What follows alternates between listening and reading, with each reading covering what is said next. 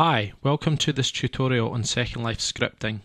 Today we're going to create a magic ball script that will provide a random answer when touched. I assume you know how to create and manipulate prims, so we won't go into that. If you right click and go edit, the window on the right appears. If you click the new script button, the default script is created.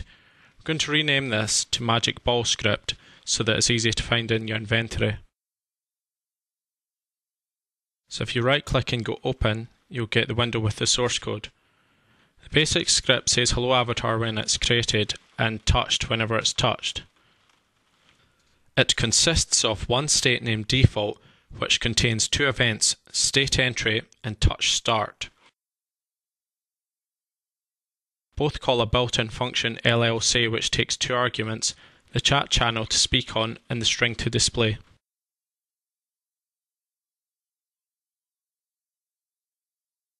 I'll just show you what says when you touch it. Touched. Okay, if we highlight the state entry and delete it because we won't need it for our script. Similarly with the LLSay function. Can move this down to give us some more space. So we need to make a global variable to hold all the answers. So we'll have a list called answers and we'll initialize it to have some positive answers and some negative answers. The data elements are separated by commas. And the list is terminated with a closing brace and semicolon.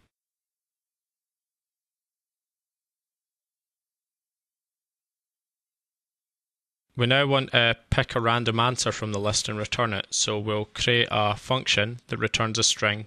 And we'll call it generate answer. It takes no parameters and we'll open it with a brace.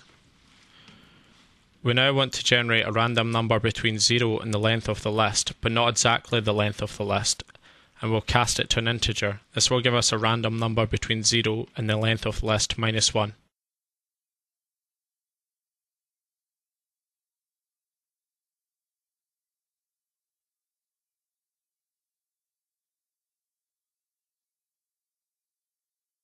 The llFrand function will return the random number. We'll seed it with the ll get list length function.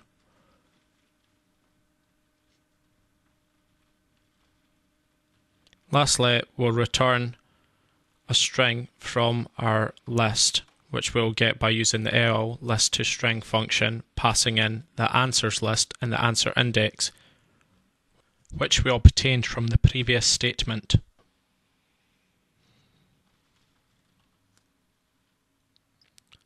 Lastly, we have to call the ll owner say function inside our touch start.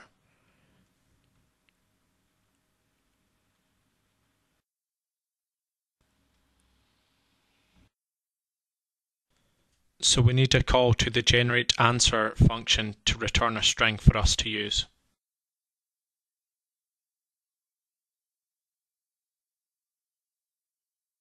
We'll save this and it says save complete. So we'll now close the source code window. And will this be a good script? Second Life seems to have froze there. Let's try it again. Touch.